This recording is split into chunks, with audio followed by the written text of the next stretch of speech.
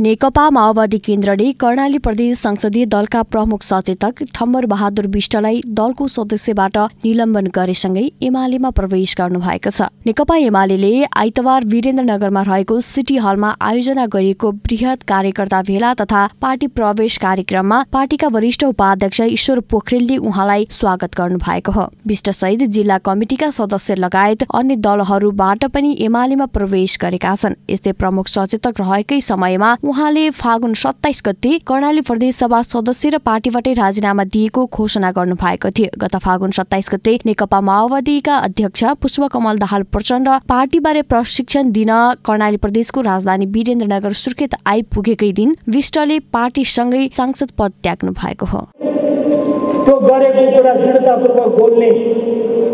अब हामी के गर्छौँ? अलिकति फाइदा हुन्थ्यो। अलिकति हामी चल्थ्यौँ।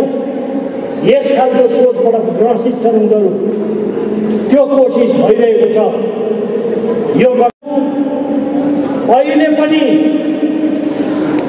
अहिले पनि निर्वाचनलाई फेरि कुनै न कुनै बाहनामा कर सार्ने षड्यन्त्र अहिले पनि हुन त हामी आफै अलिकति डह्रो भनेर व्यवस्थित भएर लड्नुपर्छ भन्छन्। काङ्ग्रेसका केही मान्छे गठबन्धन सठबन्धन चाहिँदैन काङ्ग्रेस एक्लै लड्छ भन्दैछन्।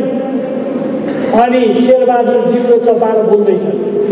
वैशाखी बिस गते हुने भयो अहिले यो गठबन्धनमा रहेका शक्तिहरू पक्षहरू के के बोल्दैछन्?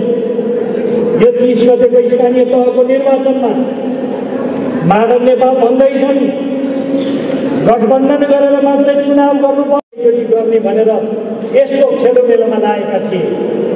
तर उनीहरूको यो प्रयत्न सफल भएन।